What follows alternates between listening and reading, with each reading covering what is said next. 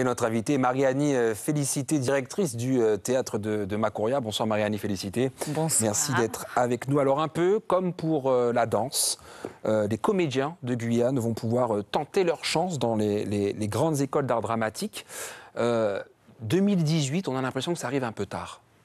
Non, mais de toutes les façons, ils pouvaient déjà tenter leur chance parce que c'est une volonté à un moment.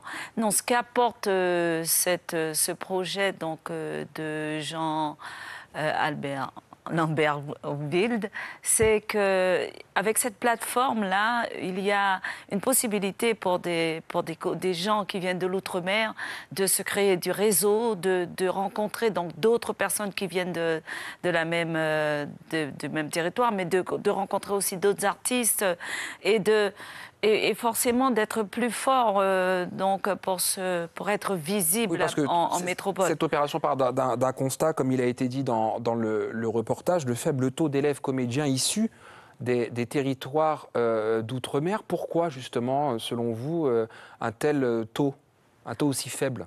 Je, je pense déjà que les, les jeunes ont tendance à se dire que ben ça, c'est pas pour moi. Oui. Déjà parce qu'on a, ils sont pas visibles sur les Ce scènes. ce n'est pas la scène parisienne Voilà. hexagonale qui était fermée aux, Euh, a- minorités Il y, a- il y a les Parce deux. que le- il y a oui, les deux. voilà, oui. Donc il y a, il y a un moment euh, où euh, eh bien, on a besoin donc de, de, de construire ça, de pour ça, pour que, que les, que, les, que les artistes, donc euh, domiens, enfin on dit plus domiens, ultramarins et, et donc euh, voilà, des territoires euh, ultramarins, eh bien qu'ils puissent pouvoir faire un parcours euh, sur Qu'on leur laisse leur chance. Voilà, qu'on leur donne laisse leur chance. Ouais. Mais pour ça, il faut, eh ben, il faut. Alors, les, les épreuves ont débuté Oui, euh, vous oui, oui. c'est que le projet, en plus, il, a, il est sur euh, la formation donc, euh, des, des, des personnes. D'une, par la, une, une année, ce sera donc euh, ce, ce- ce- cette prépa là, au concours.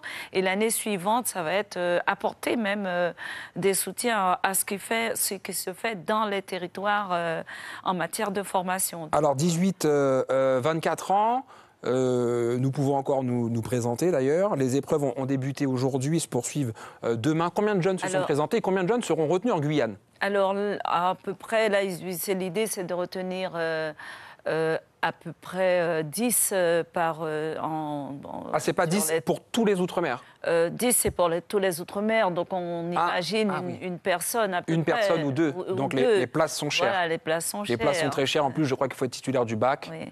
Euh, et- Ben oui, parce que c'est vraiment... Et c'est l'autre intérêt, c'est qu'au bout du cursus de, de, de comédiens, ils auront un diplôme national reconnu. fait, tout à fait. Et, et on a besoin de ça, de, pouvoir dire, eh ben voilà, nous, nous sommes, euh, nous sommes, euh, nous sommes diplômés, nous avons la force et il n'y a pas de raison de ne pas trouver Très bien. Une, une dernière question très rapidement. La, la formation se tiendra de, septembre prochain à juin 2019. Comment est-ce que vous allez euh, suivre euh, ceux ou peut-être ces jeunes qui seront euh, retenus Ah ben nous, allons créer du lien.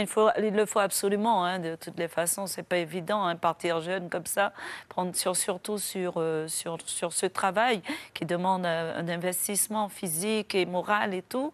Et donc, ah ben, ce sera le téléphone, ce sera le relais, le- aller les voir aussi, mettre en place. Non, nous restons avec, avec ces jeunes. Ça, je, je viens de le promettre à Jean et puis euh, et aussi à, à San Kou- Kouyaté qui était le président de- du jury et qui, a, Oui. qui, a- qui est donc le directeur de, de la scène nationale de Martinique oui. et qui est partie prenante aussi. Donc Très toutes bien. ces personnes-là, on sera, euh, on reste en lien. en Merci beaucoup. Merci beaucoup, Marianne. Et félicité. Merci. Je rappelle que vous êtes la directrice du théâtre de Macouria. Merci beaucoup.